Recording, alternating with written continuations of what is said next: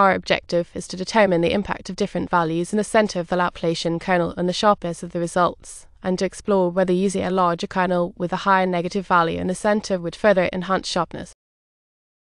Step 1. Understand the Laplacian operator. The Laplacian operator is a second minus order differential operator in n minus dimensional Euclidean space, denoted as nabla. In image processing, it is used for edge detection by measuring the rate at which the intensity of the image changes. This operator calculates the second derivative of the image intensity, highlighting regions of rapid intensity change, which are typically associated with edges. Step 2.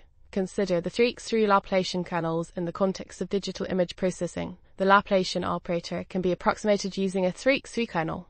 Two common examples are minus a kernel with a minus 4 in the center and 1 surrounding it, minus a kernel with a minus 8 in the center and 1 surrounding it. These kernels are applied to an image by convolving them with the image data, effectively calculating a discrete approximation of the Laplacian. Step 3. Understand the effect of the central value. The central value in these kernels minus 4 or minus 8 determines the weight of the original pixel value in the calculation of the Laplacian. A more negative central value increases the contrast between the center pixel and its neighbors during the convolution process. This results in a stronger emphasis on regions where intensity changes rapidly, making edges and details more pronounced. Step 4. Compare the minus 4 and minus 8 kernels. The kernel with a minus 8 in the center, compared to one with a minus 4, applies a stronger negative weight to the central pixel relative to its neighbors. This amplifies the differences in intensity, leading to sharper detection of edges and finer details.